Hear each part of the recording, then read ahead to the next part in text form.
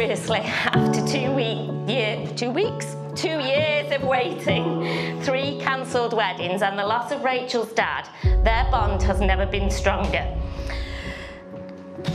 And they deserve all the love we can give them. Today is a day of love, but it is tinged with sadness. Not least because it should be Len here doing the speech. So before we toast Rachel and Luke, can we all be upstanding and raise our glasses to Len, who is here in spirit and in our hearts. To Len.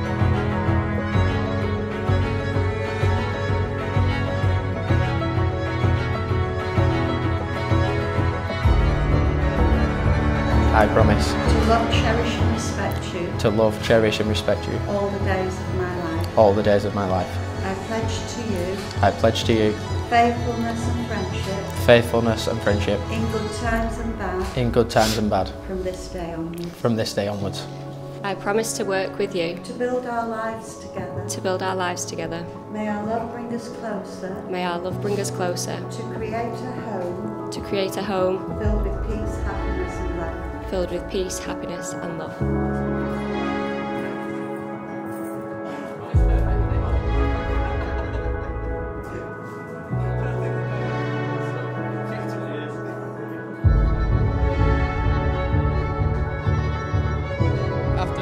Pandemic, four different wedding dates, and a ton of stress, my wife and I would, would like to welcome you all here to share this day with us. You look absolutely beautiful today, and I'm sure everyone will agree. We've come a long way since I first met you. You were just a really annoying girl with pigtails and them terrible jam jar glasses. And I was just a really, really good looking lad with a mullet. For those of you that don't know, me and Rach met in high school on the first day of year seven. She sat next to me in science and spent the whole hour of the lesson chewing my ear off about how her sister lived in Australia and how much she loved this ridiculously shitty pen that Becca had bought her. it wasn't until we were in college that I managed to claw my way out of the friend zone, and it was probably the best thing that ever happened to me. I feel so lucky to have found someone like you, someone who makes every day different, someone that makes me laugh, and someone that also thinks about what they're having for tea before they've even had their breakfast. it's not been an easy road getting to this day with everything that's been going on in the world, but I can honestly say I don't think I've ever been happier than this moment right now. These are the hands that will work alongside yours as together you build the future. These are the hands that will passionately love you and cherish you through the years, and with the slightest touch will comfort you like no other. Rachel, I give you this ring As a symbol of my love and affection as a symbol of my love and affection and in recognition and in recognition of our shared life together. of our shared life together. Wear this ring With a feeling of love and joy. with a feeling of love and joy. You're my best friend, my lobster, and I promise I'll always be there for you through everything that life throws at us. And I promise that if I'm ever buying a sausage roll, I'll always buy an extra one for you. Or maybe four. I love you so much, and I can't wait to see what the future holds.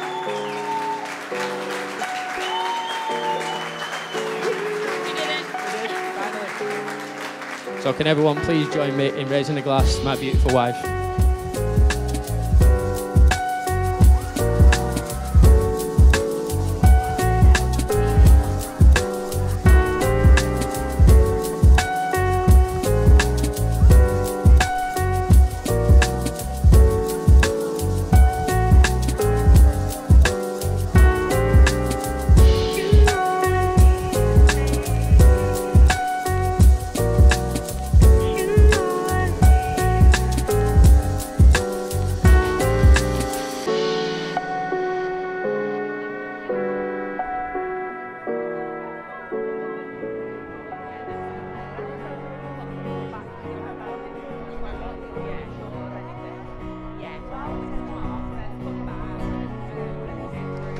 So I have to apologise, Gabe.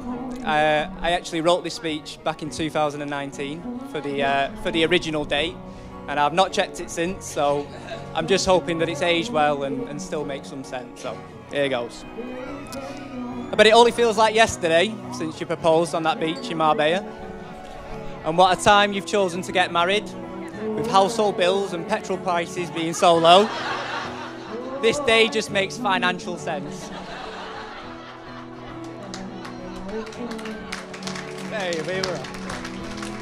And as an Everton fan, Gib, you must be thrilled.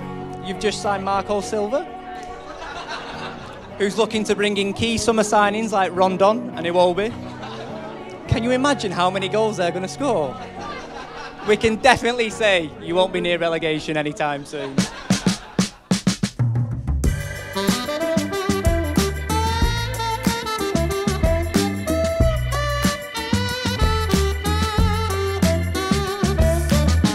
Really nervous when I found out that uh, I'll be speaking last, just for the fact that all the big nose jokes might have been gone. But Gib, you'll be happy to know I've had a word with photographer. No side profile shots, front on only. And for those of you that don't know Gibbo, he was and still is a big fan of wrestling. Uh, growing up, his favourite wrestlers were The Rock, Triple H, and John Cena. So we were all shocked when he decided to marry a girl. So I lived together with both Danny and Gib for two years at uni. Second year in particular sticks in my memory when it was freezing, our heating broke. It was that cold when we were sat on the couch speaking to each other, you could see our breath. So with two heaters between the three of us, we had one option. We all moved and lived into the living room together and slept there overnight.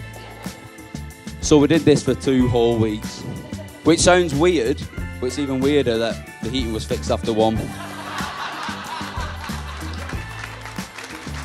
But I do think there's something extremely romantic in the last five years Gibbo's been free to have a drink with me is his wedding day. And I think there's something extremely romantic in how you both met. And I won't bore everyone with the details. It's a classic boy meets girl, girl likes girls.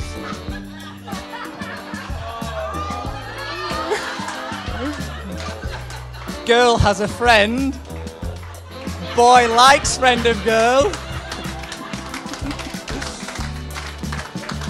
Boy wears down friend of girl. Friend of girl likes boy. Story that we're all used to.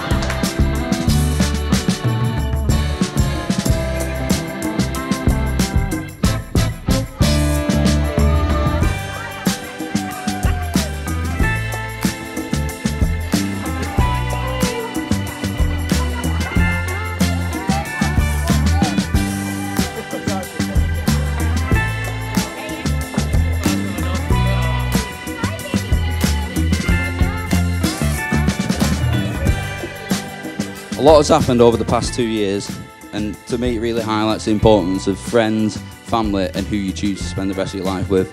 I'm sure everyone can agree that these two have chosen the perfect match. So, one final thought looking around the room, it's clear to see, Gib, so many people here that love and support you. So, let's make tonight worth the two year wait. I'd like to raise a toast to Mr. and Mrs. Gibson.